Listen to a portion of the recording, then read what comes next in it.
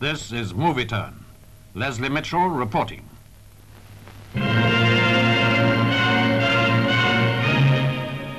Royal Navy's submarine service is second to none in efficiency, but by the very nature of its service, danger is an ever-present factor in time of peace as well as during war.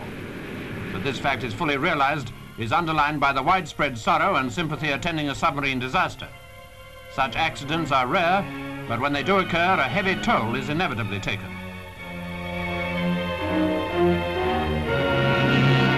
Recent tragedy in Portland Harbor resulted in the loss of 13 lives.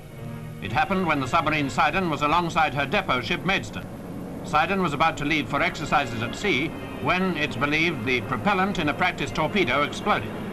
Surgeon Lieutenant Rhodes of the Maidstone lost his life trying to help in the rescue work. The mooring vessel Moordale went into action in an attempt to lift the Sidon, whose position on the bottom, 36 feet down, is clearly shown by those air bubbles breaking the surface. Everything possible was done, and at once, but it seems certain that most lives were lost in the explosion itself.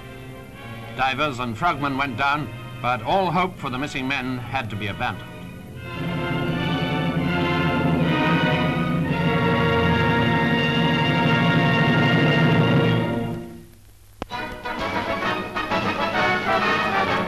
Ticket office.